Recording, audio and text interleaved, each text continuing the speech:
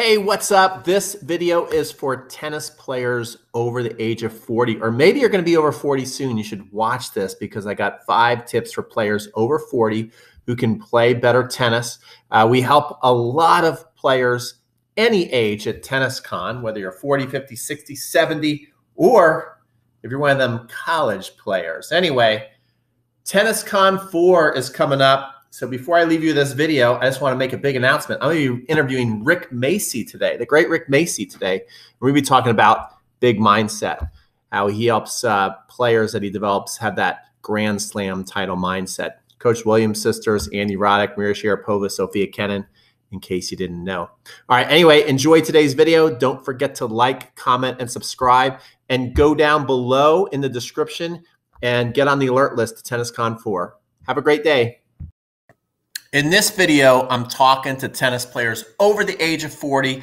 I'm going to give you five tips to help you play better tennis. Are you ready?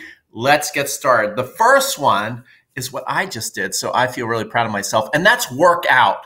Don't look at the tennis court as your gym. Don't think that's the only place you work out, because if you do, you want to know what's going to happen. Number one is you're going to get hurt. Number two is you're not going to be playing as good tennis as somebody who does look as at their fitness seriously. Okay. If you want an unfair advantage, look around the tennis courts and look at players over the age of 40 and then ask yourself, how many of these players are working out regularly, consistently, and working out the right way? I'm not talking about getting on the treadmill and walking for 20, 30 minutes or even jogging. All right. That's just teaching you how to run slow on the court. You want to be doing explosive exercises. I know when we get older, we think that that stuff's not for us. Actually, that's exactly what we need to keep working on. Is we want to keep working on, you know, building up our muscle mass. That's a big one. After age 30, we start losing, especially men, we start losing testosterone, we start losing muscle mass. And so lifting weights and working with weights is actually a really good thing. Working on explosive exercise is a really good thing full body, high intensity workouts. Very, very good thing to be doing. And that's also going to translate to playing better tennis on the court. I can't save you from losing a step or two as you get older, but you certainly are going to be losing less steps in your competition who's just going out there and playing on the tennis court and they're not looking at uh, anything else but the tennis court as their gym. So that's tip number one. Tip number two and it goes into tip number one is move your damn feet. I even see people fit. That's what really frustrates me. When I give a lesson and I see someone fit and they're not moving their feet, it's like, what are you doing? You're actually fit. You see a person across from you, they're not fit, they're not moving your feet. And guess what? You're not moving your feet either. You're moving your feet less than they are. And so you're you're leaving a lot on the table right there. You could just blow so many people who are fit, especially over the age of 40, they could blow the doors off their competition uh, if they just move their feet, split stepping. Not only are you going to be getting to the ball faster, but imagine if you're playing somebody you know you're out of shape, and then you see somebody across from you who's moving their feet, they're split stepping. Automatically, they just look like a much better tennis player than you. They're intimidating. And so, besides just the idea of getting to the ball faster, which will have you play better tennis, you're also bringing that intimidation factor in there. Look at look at what Rafael Nadal does to his opponents just by sheer intimidation alone. The way he's moving his feet, the energy, the attitude. Well, moving your feet is part of it. People start even if they can't pinpoint what's better about you. They, they there's something about they can see it. It's obvious. Like oh, they're a pretty darn good player. And they might not even figure out that the reason, the difference between you and them is that you actually move their feet. They're going to see that something different is going on, though, than most of the people they play because most people, I give clinic after clinic, and everybody just stands there and doesn't move their feet. So that's tip number two for us passionate, totally obsessed tennis players over the age of 40. Tip number three is know, really, really know how you win your points. Okay? Know your game. I just did a clinic in uh, Florida. There was this really, really nice guy. He actually ended up being the most improved player of the weekend after we really identified, identified, hey, what's your game? All right. The first day he went out there and played. And what he wants to do is he wants to go out there and swing through shots like a Rafael Nadal, like a Roger Federer, right? He wants it that toss, and that's what he really, really wants. But he doesn't have that developed where it's actually going to work in a match. I'm not telling this guy not to work on this. not to not to try and get a forehand that you can swing through with confidence. That's really cool, especially if it's important to you.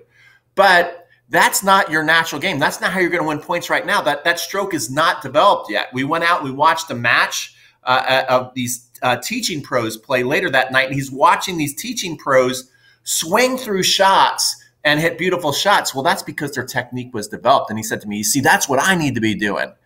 And so the next day, I actually gave a talk to the group saying, "You really got to know your game." And then I did a test with everybody, and I tested, "Well, what do you do well? Do you, do you punch the ball well?"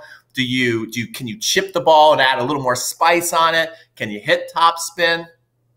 And what I found out with this one gentleman is what he was really, really good at. He probably had the best volley and chip technique in the whole camp. So what we turned him into that weekend was a chip and charge player, a, nut, a net rusher. He embraced the skills he had rather than fighting against the skills he doesn't have. And he ended up playing much much better tennis. And and you could see his mood change the whole weekend. Okay so that's tip number three. Number four is developing new shots. I think it's great especially as we get older 40s 50s 60s 70s 80s i mean study after study just proves the more you're working this right here the younger you stay you know the younger you stay ultimately you stay in better shape your mind works better uh, you live longer people who just kind of like think, okay, you can't teach an old dog new tricks. Well, they tend to just deteriorate. I mean, you, I'm sure you've seen it in your life. So the more you are challenging your brain and doing skills, especially when you have the mental and the physical working together, that is such a healthy thing to be doing. So this one gentleman who wants to go out there and swing like a Roger Federer, like a Rafael Nadal, Serena Williams, you know, Novak Djokovic, he should do that. But he should do that on the practice court. So the way I want you to develop your strokes is not to like watch a video and then think you're going to go out there and use it in a match. If it's something you've never done before, you're going to be frustrated. You're going to think it doesn't work and you're going to lose. Instead, what you want to do is treat it as a secret project. So let's just take our one example we're talking about this guy in Florida who didn't have a, a smooth swing yet. They could use a match. That's okay. I'm not telling them not to use that. Now, Go on, go on the practice court. Do tons of shadow strokes. You know, do some self bounce feeds. Go out on the ball machine. Then start to introduce it. Maybe go out and rally with somebody with a low compression ball. Right? Do things like that. Rally in the short court. Go back to the baseline. You know, a whole bunch of micro progressions is what you need to do and fall in love with the process of learning rather than being so stressed out that it's something you want to use in the match right away enjoy the journey of learning the new stroke, right? Because it's not just about winning the matches, it's also about your overall mental and physical health, your longevity you're going to have on the tennis court and in life. So that's tip number four. Tip number five this is so important. Are you going to write this down? This is a writer downer. Develop the ultimate rally ball. So what's the ultimate rally ball? The rally ultimate rally ball to me is a ball that is going anywhere four, or I'll take it down a foot, three to six feet over the net. Even higher is fine because as we get older, okay, we are going to lose a step. So think think about all the benefits of developing the ultimate rally ball. The ultimate rally ball is a shot you can hit hundred times in a row that you know, however you do it, whether whether you're whether you're hitting top spin whether you're kind of pushing the ball. I don't care how you do it, but it's a shot that you feel really confident in that you can make hundred times in a row that's going to go in that your opponent cannot attack. Now, I like these balls going higher over the net because just by going higher over the net, your ball naturally is going to go deeper in the court. Okay, so it's going deeper in the court. Your opponent can't do what? They can't attack you. Do you see you see what I'm doing here? So now you're not you're not able to be attacked. Also, you're hitting balls out of your opponent's strike zone. The ball's the ball's since going higher when it rebounds off the court, it's going to bounce higher, right? People don't like shots up here. It's probably their it's probably everybody's least favorite shot, especially if you're playing somebody with a one-handed backhand. Okay, so hit high, nice ultimate rally balls to their one-handed backhand. And the final thing is, is it's giving you much more time since they're further back in the court. Right now, their shot, their ball that they hit takes longer to get back over the net. Does that make sense? As opposed to they're moving forward and playing short in the court, now you have less time to react to their shot. Plus, after you hit your shot, you've got a longer recovery time to get back to the middle, or if you're playing doubles, wherever you need to do to get to your true middle in the point.